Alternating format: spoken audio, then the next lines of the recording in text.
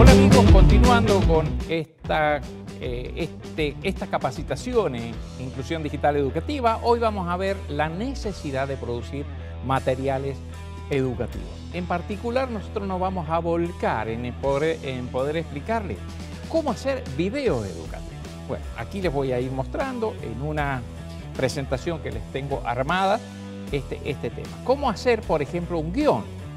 ¿Cómo armar un guion? Primero hay que tener algunos aspectos en cuenta, como por ejemplo, ¿para qué? ¿Para quién? ¿Dónde? ¿Cuándo? ¿Cómo? En fin, algunas cuestiones que tienen que ver con definir qué es lo que voy a hacer.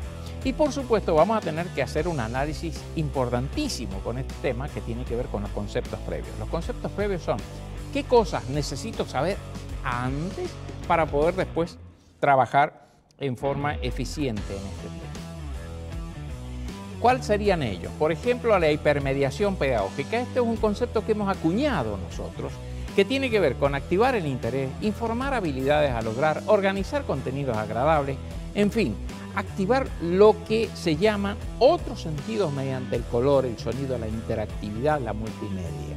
Esto dentro de las teorías de las inteligencias múltiples de Garner tiene mucho que ver, porque no solo uno aprende haciendo lectura, sino que también aprende ejecutando, haciendo, enseñando inclusive. Hay, un, cuadro por ahí que yo suelo usar mucho. Otro tema tiene que ver con un concepto que nosotros le hemos llamado contentitud. Y aquí lo que tengo es nada más que un pequeñísimo, eh, una pequeñísima broma, y la voy a pasar rápido porque en realidad la idea es que la la, tomen y la guarden en su memoria para contarles qué es lo que sucede en el cerebro cuando, cuando uno ve alguna cuestión que tiene que ver con el humor. Y el concepto nosotros le hemos acuñado como contentitud. ¿Qué es contento y con actitud? ¿Qué es?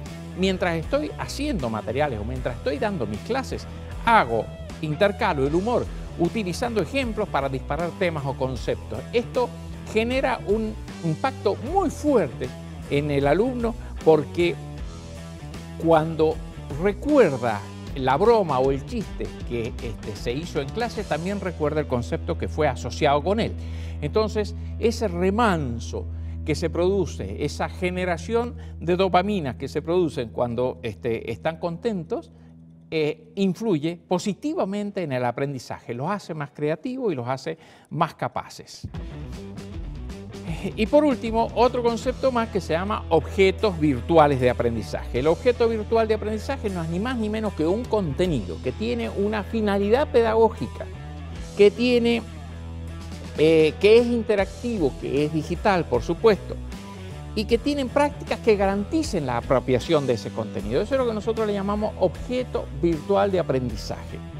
Y por supuesto, la posibilidad de que a este elemento yo le agregue formas de evaluación o de autoevaluación y después le coloque palabras claves para que sean encontrados cuando uno lo coloca en internet o en un repositorio para que sea, pueda ser rescatado por otros docentes, eso constituye lo que nosotros llamamos objeto virtual de aprendizaje y hay que tener pensado que nosotros como docentes debemos producir cosas que pueden este, ser utilizadas por otras. En el transcurso del curso vamos a seguir avanzando y profundizando estos conceptos para que podamos hacer nuestros propios objetos virtuales de aprendizaje.